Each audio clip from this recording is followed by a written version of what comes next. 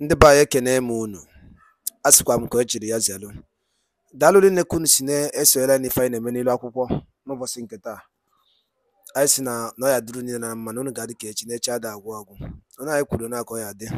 Ise ise ise.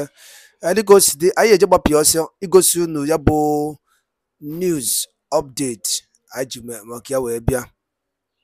Ya bụ egwu adaaligo a sị na ọgwụ adaala na onye ọbụla emego gịnị azọrọ n'isi onwe ya ewere nnukwu ihe na-eme na and ọtụtụ ndị mmadụ amaghị ya bụ ife. Ọtụtụ ndị mmadụ amaghị ya bụ ife. Biafra is going home. There is nothing that can stop us. We are existing from nigeria as sooner as possible. Gee ntị ka ihe na-eme n'ime ndị amị. Ewugo division. Nnukwu division n'ime amị Nigeria military. Gee ntị ka achọghị m ka ọ bụ m ka o si ọ bụ- achọghị m ka enwu ya n'ọnụ m. Just gee ya bụ ife. Ị ga-esi ya bụ ife. Ị drop your comment on the comment below alright over to you Dr. Abati. Over to you sir. The uh, reaction from uh, Paul Kagame, who has retired 83 senior military officers and immediately replaced them. 83. And also the old man in, uh, in uh, Cameroon, Paul Biya, who suddenly, you know, uh, regained life and also decided to retire senior military uh, uh, officers. Uh, Paul Biya has been in, in power for about 41 years. One of those sit-tight leaders in Africa who keep uh, staying on and changing the constitution. Paul Kagame has had to change the constitution in, uh, in uh, Rwanda that will keep him in power till 2034. He has been there, he has been in power there for about 27 years, but he still wants to say till 2034. And now, having seen what President Tinubu described as uh, uh, autocratic contagion, or what he described as uh, the copycat syndrome that seems to be emerging with regard to unconstitutional takeover of power, those persons who think that they too may be affected are quickly moving fast to prevent to prevent any kind of uh, contagion in their own areas. But will it protect them?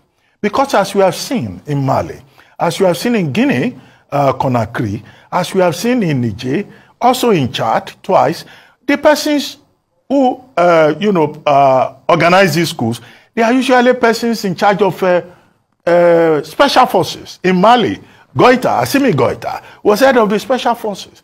In Gabon, as you are seeing now, the man there, you know, is the head of the uh, Presidential Republican Guard. So these are persons who have direct access to the uh, president. And so, in the case of of the Rwandese president, Paul Kagame and Paul Biya, it will appear that the statement is true after all, that the guilty are afraid.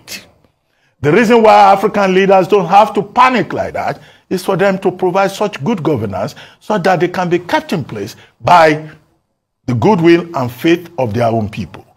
Now, Nigeria is not left out. Yesterday, we were told that the GOC 81 div of, uh, of the Nigerian uh, army, you know, was telling the troops that anybody who is not loyal to President Tinubu should just leave the uh, armed forces and that they must show loyalty, discipline, professionalism. Fine, good talk. But the only objection I have to his statement is that he kept talking about you must be loyal to President Tinubu. No, the Nigerian armed forces, it's not about loyalty to a person. It's about loyalty to the Nigerian constitution. It's the constitutional that we are talking about here, not about individuals. Because when the uh, general was going on, uh, you must be loyal to President Tinubu and all that. No, the Nigerian military must be loyal to the constitution. And the only way of changing power that the constitution of Nigeria recognizes is through the ballot box. And that is why the coup in all these other African countries, you know, are being, uh, uh, the coups are being condemned because they go outside the framework of the uh, constitution. Thirdly, the things happening in Rwanda and, uh, and uh, Cameroon. The truth is, Paul Biya should know that it is time to go. Paul Kagame should know that it is time to go. P Square, Paul Paul, they should know that it is time to go. If they are not getting the memo, they should get it now. Paul got in there using all sorts of sentiments after President Ahidjo. He has not gone. How can you lead a country where you hardly stay? The country Cameroon has snowballed into a lot of crisis now. You're having the Ambazonian crisis because of bad leadership and marginalization. You are always somewhere in Europe with Madame Chantal.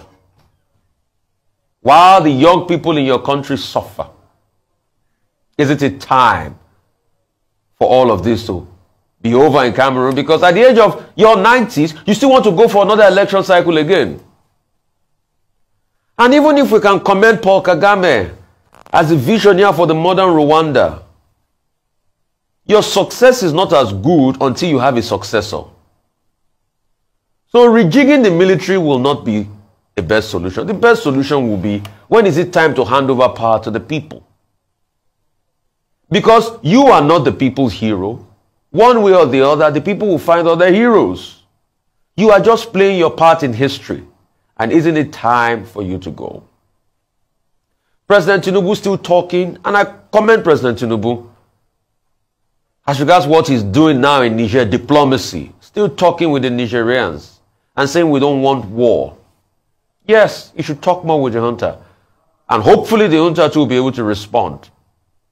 But the junta too is also solidifying its base in power, trying as much as possible now to remove every vestige of France in the country.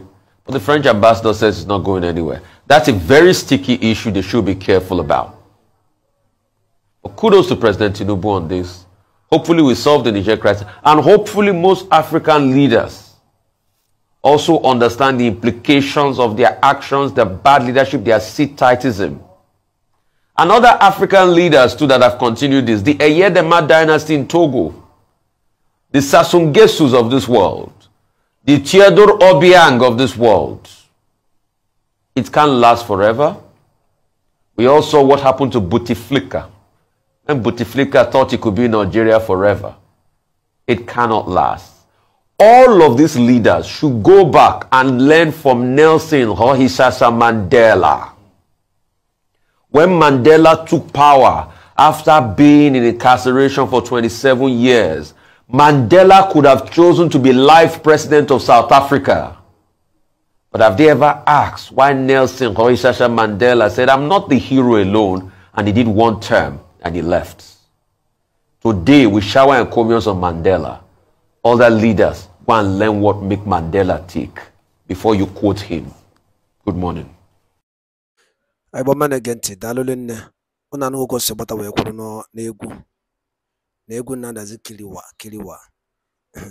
Ife a na-agbazi kịta bụ wọtọwọtọ ka a na-agbazi n'egwu na ka ị na-ada n'ife akwa ị na-afụ ụzọ. Maka ndị na-ekweta na-emezi gị na-ekwenu agwa m ụmụ igbo kwado na nụ na ana ana ụnakụ nna na were ife ya emetekwala pena. Ụnụ anụ ụgwọ si gbata wee kwuru n'akwụkwọ asọ ya na onye mee gịnị ya kọrọ nwanne ya. Kabarụ ka ị drọpụọla ya kọmentị gbasịta maka ihe ị nụrụ n'ilu akwụkwọ a n'ụbọchị nke taa ama m na mụtara ife dị oke mkpa ama m na ịnụkwa n'ife n'ime ya anyị nụrụ gịnị ka ị chere gbasịta maka ife ndị e diskọs n'ime akwụkwọ a drọpụọla ya on the comment section below. Once again echefula na ya bụ Eastern News 24 bụ ebe anyị si na-ewetara nnukwu ozi a dị oke mkpa ndị be anyị daalụ niile ka emesịa